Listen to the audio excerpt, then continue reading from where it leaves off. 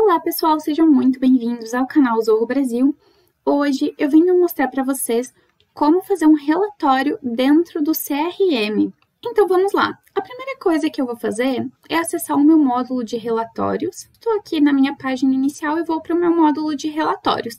Se o seu módulo de relatórios não estiver aqui nessa barra fixa superior, você pode pesquisar ele aqui ao lado, certo? É só digitar relatórios nessa barrinha aqui. Como o meu está, eu vou acessar ele aqui. E aqui automaticamente eu já entro na página que me mostra todos os relatórios. Aqui ao lado você pode ver que eu tenho algumas pastas, elas já vêm criadas no CRM.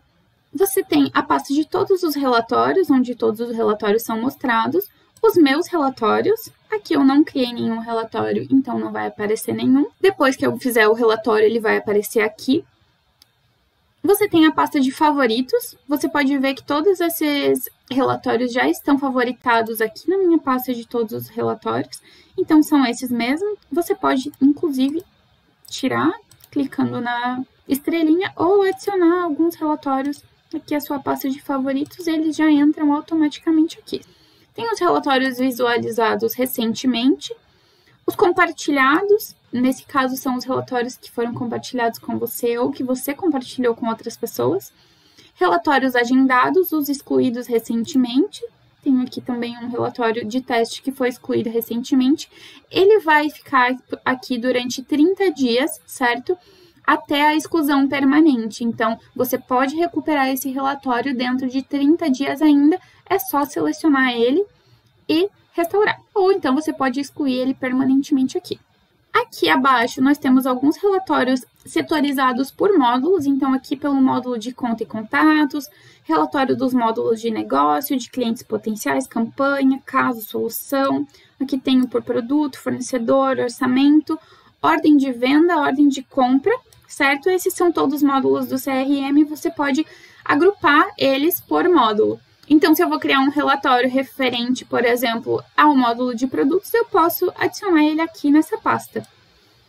Também tenho aqui sobre relatórios sobre faturas, sobre métrica de vendas e relatórios de e-mails.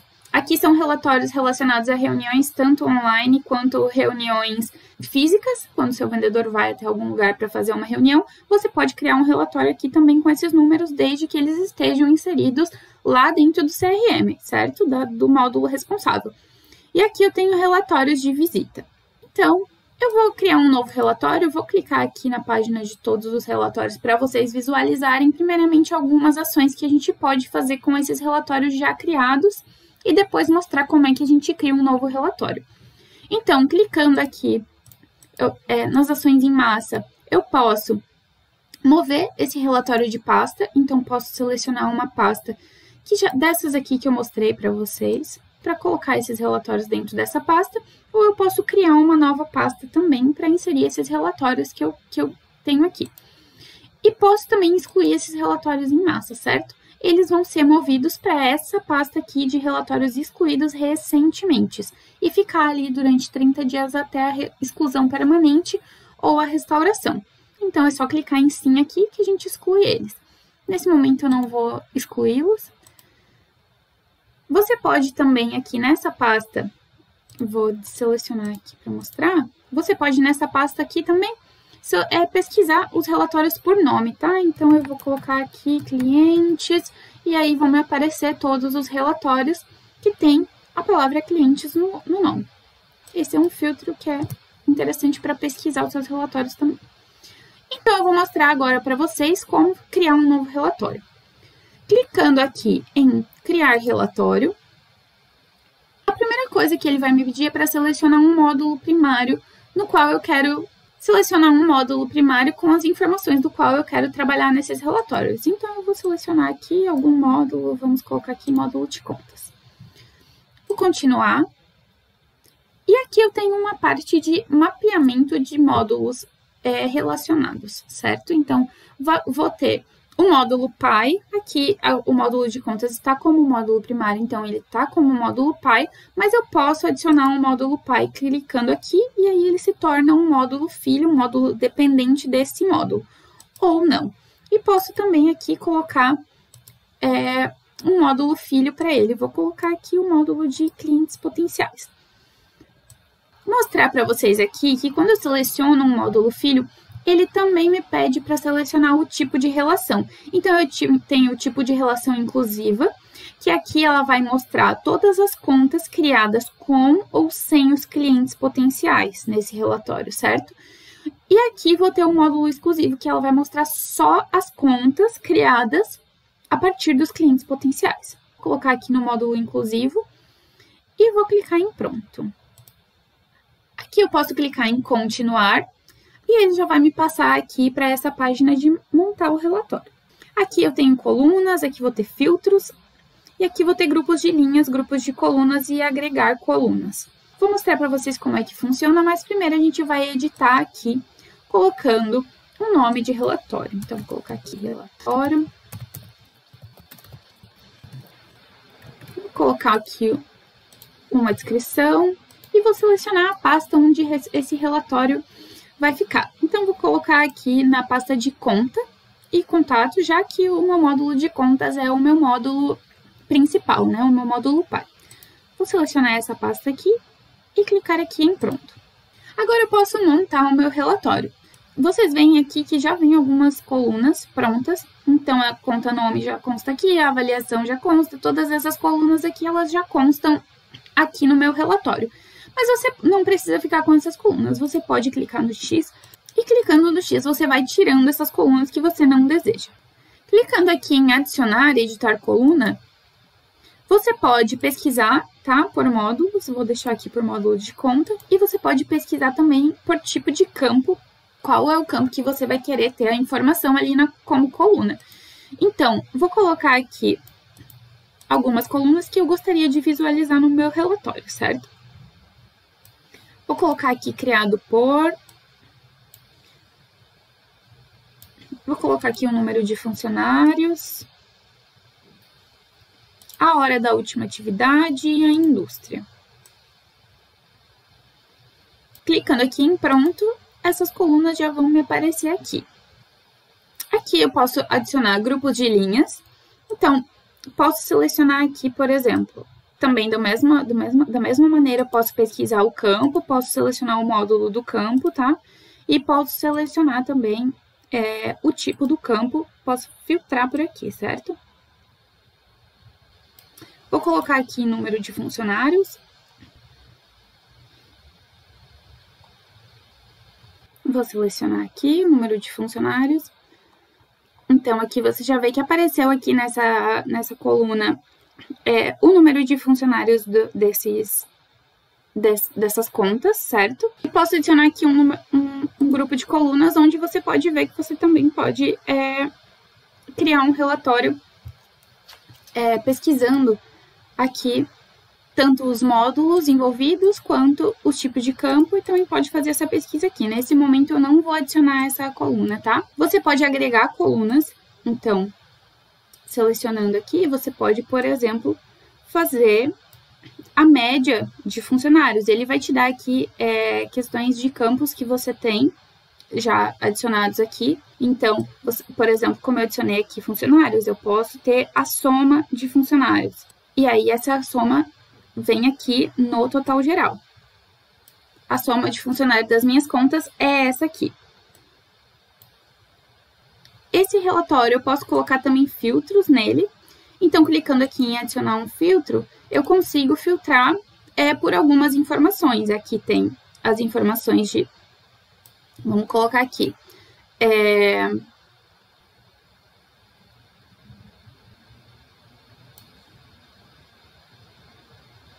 hora de criação dos clientes potenciais convertidos. Vou colocar aqui hoje. E aqui eu posso adicionar uma filtragem avançada, tá? Por campo também. É, no campo.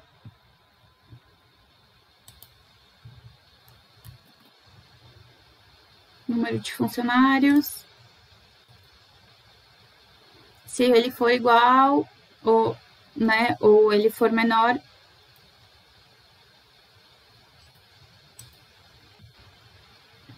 E aí vou salvar aqui. Aí ele vai me mostrar os, os, os números de funcionários menores do que mil aqui nesse relatório. Aqui, por exemplo, eu posso também é, executar esse relatório, certo? Então, posso executar ele aqui, é, mudar filtros, aplicar filtros, e também posso exibir os detalhes dele, tá? Então, aqui em linhas de detalhes, subtotais e totais gerais. Então, eu posso selecionar aqui para deixar todos esses totais aparecendo, ou não, posso deixar os subtotais é, escondidos e deixar só o total geral. Então, aqui você vai selecionar de acordo com a sua preferência. Aqui você pode editar ou salvar esse relatório. No caso, eu vou voltar aqui para a edição e já vou salvar esse relatório, certo? Vou salvar ele aqui e mostrar para vocês aonde ele vai aparecer. Uma vez criada esse relatório e ele foi salvo, você pode realizar algumas edições, né, nele, voltar, selecionando aqui em editar, ele vai voltar para a mesma página anterior onde a gente selecionava filtros, selecionava colunas. E aqui eu também posso clonar esse relatório, né? No caso, se você quiser fazer um relatório muito semelhante a esse e alterar apenas alguma informação, você pode clonar e deixar ele, fazer as alterações no clone e deixar ele pronto e alterado. Você consegue exportar esse relatório, tá? Então, clicando aqui em exportar, ele vai aparecer o relatório, duas opções de tipo de exportação. O relatório formatado, então, onde você consegue exportar até 2 mil linhas, e o relatório detalhado, onde consegue exportar até 5 mil linhas. E aqui vão ter é, as opções de formato de arquivo para cada relatório. Então, o relatório formatado Excel, PDF e CSV, e aqui o relatório detalhado em Excel e em CSV. Vou exportar esse relatório aqui como PDF. Vamos abrir esse arquivo para visualizar como é que ele fica. Então, ele fica assim, ó, já aparece esse relatório aqui para mim. Voltando aqui, eu posso também enviar esse relatório via e-mail, certo? Então, aqui eu vou ter que escolher o meu destinatário, dentre alguns contatos que já estão aqui. É, destinatários adicionais, né? Posso separar com vírgulas e posso exportar é, como arquivo, escolher aqui como é que ele vai ser enviado no arquivo em anexo, tá? Você pode tanto enviar imediatamente quanto agendar o envio desse relatório. Então, se eu preciso enviar esse relatório toda semana, eu posso agendar para mais tarde e colocar aqui uma data programada para enviar esse relatório na segunda-feira. Então, a gente consegue fazer esse agendamento. Vou cancelar aqui, certo? E aqui eu quero mostrar para vocês que eu também consigo criar gráficos com esse relatório, certo? Então, aqui eu posso escolher, primeiramente, o modelo do gráfico, tá? Então, eu tenho gráfico de coluna, gráfico de rosca, de pizza, gráfico de barras. Aqui tem gráfico de linhas também, tá? Assim. Vou mostrar aqui para vocês. Tem o gráfico de tabelas, que aparece nesse mesmo modelo onde estava, como estava sendo apresentado ali. Tem gráfico de funil, gráfico de área e mapa, é, mapa de calor, mas esses aqui eles só vão ficar disponíveis quando mais de dois agrupamentos forem selecionados, certo? Então, aqui eu coloco a contagem de registro ou a soma de funcionários, o que, que eu quero no meu eixo Y, o que, que eu quero aqui no meu, no meu agrupamento, quero o número de funcionários. E aqui eu consigo colocar mais opções, certo? Consigo aqui classificar por, e aí tenho essas opções de valor e rótulos ascendentes ou descendentes, para definir é, de, que modo, de que modo ele vai estar tá apresentado ali. E consigo também colocar o agrupamento máximo e o parâmetro de comparação para o eixo Y, certo? Então, se eu seleciono aqui um outro modelo de gráfico, onde eu posso selecionar o parâmetro de comparação, né? Um gráfico que tenha eixo Y, você precisa selecionar. Eu posso colocar aqui o parâmetro de comparação. E aí, fica aqui uma linha com o parâmetro de comparação, certo? Posso salvar esses gráficos também. E aí, esses gráficos ficam apresentados aqui para mim. Eu consigo também editar o gráfico, excluir o gráfico ou adicionar ao painel. Clicando em adicionar ao painel, você tem aqui que escolher o painel, certo? Então, você já tem aqui o nome do relatório e escolhe o painel onde esse relatório vai ser publicado. Bom, vou voltar aqui para o meu módulo de relatórios Então, aqui já aparece o meu módulo de relatório de teste de contas lead que eu acabei de criar. Aqui nessa página de todos os relatórios e também na página dos relatórios de conta e contato, que é a pasta que eu selecionei para esse relatório, certo? Aqui eu posso, como eu já mostrei, eu posso mover esse relatório de pasta também depois de ele executado e também posso excluir esse relatório. Se eu clico em excluir, ele vem aqui para os relatórios excluídos recentemente e eu posso também, clicando nele, restaurar ou apenas excluir ele permanentemente. Então, pessoal, o vídeo de hoje é esse. Eu espero ter ajudado vocês a criar os relatórios dentro do CRM. Se inscreve no canal, deixa o seu like e ativa o sininho para receber mais conteúdo sobre a Zorro. Um abraço e até a próxima!